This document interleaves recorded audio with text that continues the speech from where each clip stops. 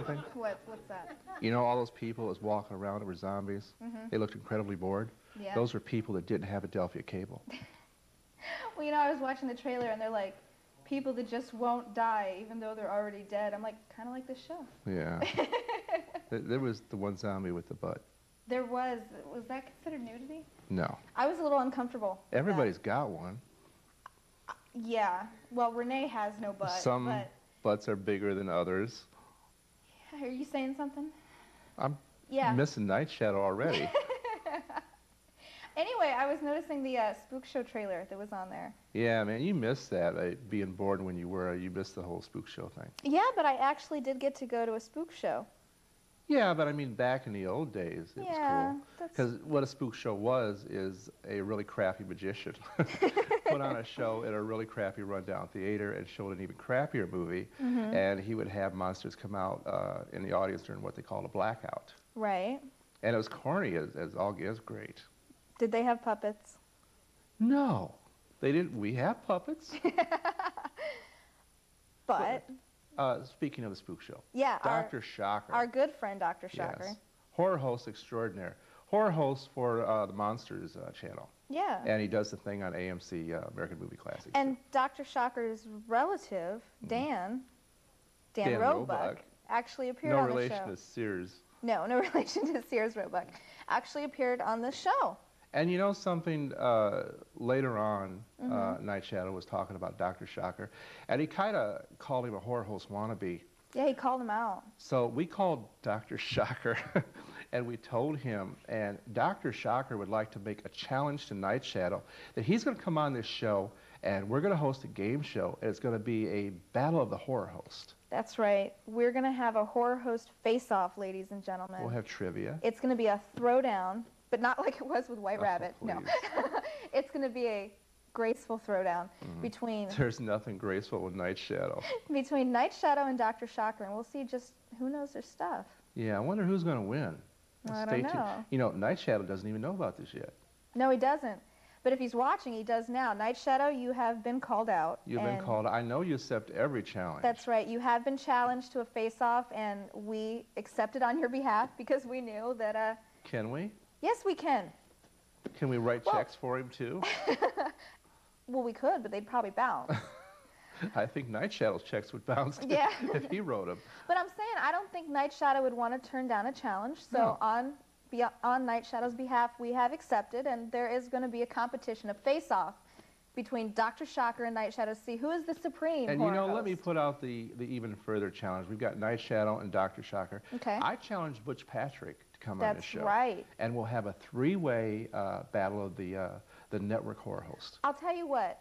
Butch Patrick, you can even bring Ivana. Oh, yeah. And it'll be Butch and Ivana There be against two on his team. Night Shadow and Dr. Shocker. He can have Because the privilege Night of two Shadow people. is like two people. I'm, I love Night Shadow. He's my buddy. Yeah.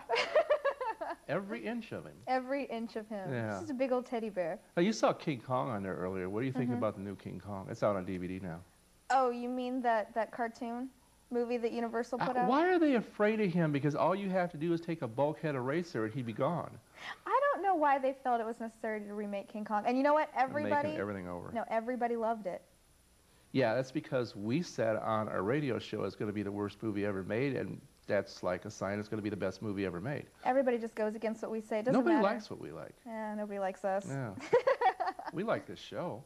Yeah, but that goes to prove. Oh, come no, on. no. They No, have I'm like kidding, millions kidding. of viewers. Of course they do. Yeah. And they all live in one house in East LA. But anyway, so what did you think of the King Kong remake? I haven't seen it.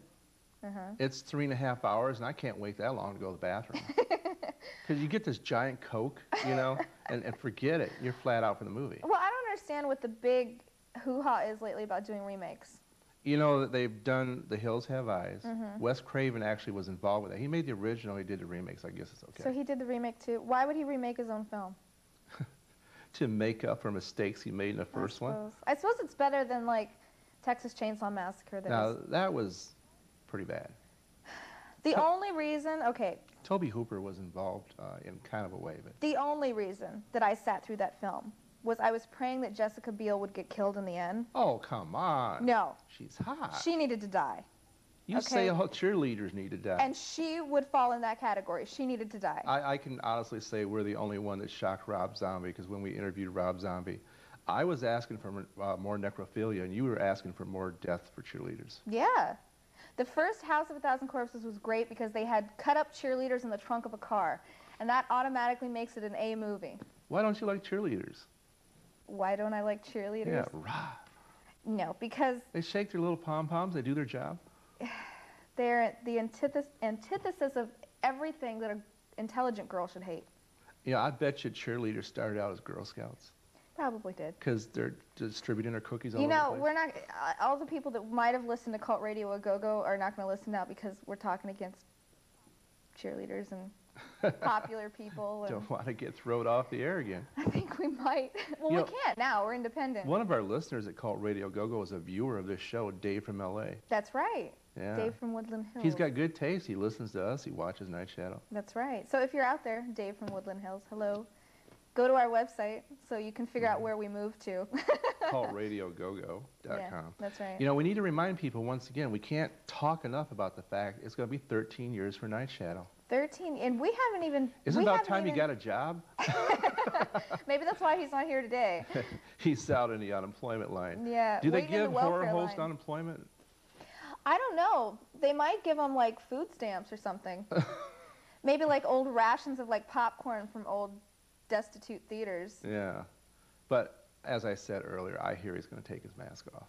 That's what I hear. He's So- also supposed to have all of his uh, his friends here too. Yeah, he's supposed to have the guy that played the Candyman in the movie The Candyman. Yeah, he's supposed to be here, and all of his crazy, wacky friends. The ones he calls the freaks. That's right. And we're not talking about his in-laws or mine. No, so but that's going to be in two weeks from today, Mhm. April 14th. It'll be the 13th year anniversary. We've only been around here for a year, so Yeah. I can't even. So that means he started when he was a little night shadow. Little bitty night shadow. Growing up, watching Elvira, becoming Yeah. hooked. And uh, what was that other one in town here? The LA horror host. I can't remember. Morpheus? Yeah, something like that. Well, there's there's Doug Graves, who's in California. Yeah, he does horror radio KDOA on Live 365. Yeah, and there's Dr. Morpheus. I wonder if we're going to have any of uh, Night Shadow's horror host friends show up, other than you They should. supposedly supposedly saying Elvira's going to show up. Elvira is going to be here. I, I'm telling you, if Elvira's not here, I will run in front of the camera naked. No, I won't. If, if Elvira's No, not no, here, no, no, ladies and gentlemen, you heard it. No. He will streak no, no, on live television. And then get thrown off of Adelphia like I got thrown off of Live 365. I don't think so. The, the audience is not ready for that. Okay. They'd have to get the wide-angle lens. Oh, please. But Elvira will be here. I, I swear, I guarantee you. She will come to Adelphia and she will be here live and in person. Both of them. No. Both of them. Oh. Well, Lying. Hey. Lying. see, the, the guys in the back room, they're waiting. They're getting out their autograph books. Well, they don't get much, you know. There's Renee here every week, and that's pretty much it as far as, as tail. Yeah. So- Well, it's a lonely life here at the Adelphia studio. yeah. But these guys back here, they get more action than I do. I just know they do. Do they? Have I you do. asked them? I don't know. Do you guys get a lot of action back there? See? I told you. I know what's going on back there. I mean, I can hear what's going on back there right now. They to, you know, sometimes maybe that's why we, we can't ever get back there or hear anything from Yeah. them. They're busy. You know that lube they use on the end of the coax cables to give you cable? They use it for other things too You- here at the studio. You had to. Go, you're on. You're on live television. I am? Oh my God. Curb, curb. Okay, never mind. It's not going to do any good. But that one person in East LA that's watching this show, he'll understand. as he has his 47 relatives living in his house.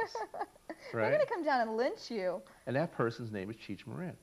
Oh, Cheech. I love Cheech. He's God. on tour again, He's hey, he's going to be doing a movie again with Tommy Chong because Tommy got out of prison. and that's a good reason Wasn't that messed up? Tommy Chong got put away for selling bongs. Now, first of all, what would you expect Tommy Chong to sell?